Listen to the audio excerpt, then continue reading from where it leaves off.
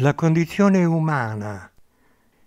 Da quale stato di coscienza parte e a quale stato di coscienza arriva la condizione umana?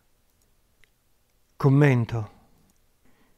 Il tragitto evolutivo della condizione umana, come dice il cerchio Firenze 77, va dalla pietra al santo.